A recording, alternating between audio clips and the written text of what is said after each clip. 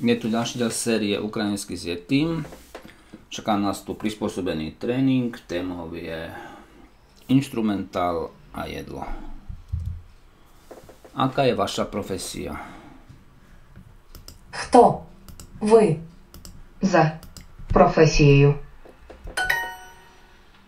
Вони не люблять вареники. Oni nemajú radi knedličky. Вони не люблять вареники. Ви не їсте банани. Vy nie jete banány?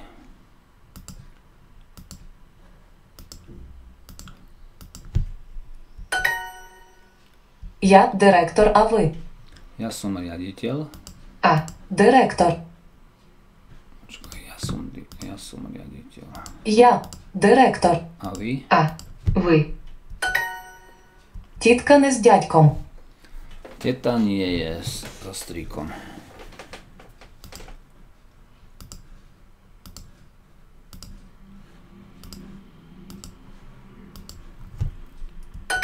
З чим ви їсте рибу?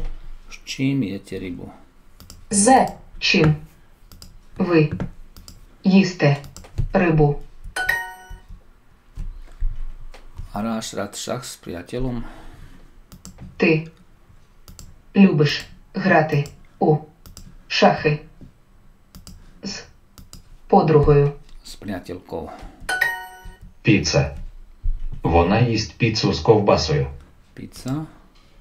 Ona je pizzu s klobásou. Je vašim povolaním profesor? Ваша професія. Викладач.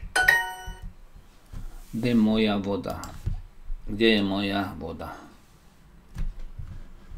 Де? C. Sviža smetana. To je čerstvá smetana. Ty piješ, ty piješ moloko na snídanok, piješ mlieko na raňajky. Perfektne. 100%.